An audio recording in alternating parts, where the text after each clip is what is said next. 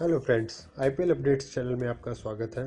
जैसा कि आप सब जानते हैं कि 12 करोड़ में बिकने के बाद टाइमल मिल्स अपने आप को नई बुलंदियों पर महसूस कर रहे हैं।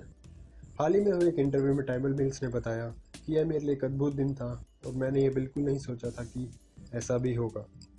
मैं सुबह उठा और टीवी देखा तो मैं एक नई दुनिया में था और अब तक मेरा फ़ोन नहीं रुका है और मुझे हर जगह से फ़ोन आ रहे हैं और बधाइयाँ मिल रही हैं।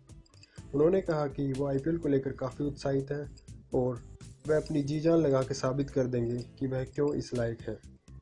बहरहाल, ये तो वक्त ही बताएगा कि टाइमल मिल्स अपने प्रदर्शन पर खड़े उतरते हैं या नहीं। जानने के लिए जुड़े रहे हमारे चैनल आईपीएल अपडेट से तो सब्सक्राइब करना ना भूलें। और अगर आपको ये वीडियो पसंद आए हो तो लाइक और कमेंट करना ना भूलें। Thank you guys.